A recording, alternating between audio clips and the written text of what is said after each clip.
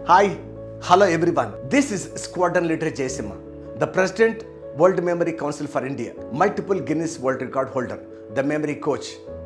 I'm super excited to bring to all of you the Super Memory Minute with Jayasimha. From today, every day, day after day, I'm going to share the techniques, the strategies that I have learnt. I'm going to share with all of you, and you can benefit in your academic career, personal, professional life. You even you can go on to become the world memory champion. So stay connected because I'm going to post this super memory minute in every digital media. So stay connected. Let us grow together. See you in the memory minute.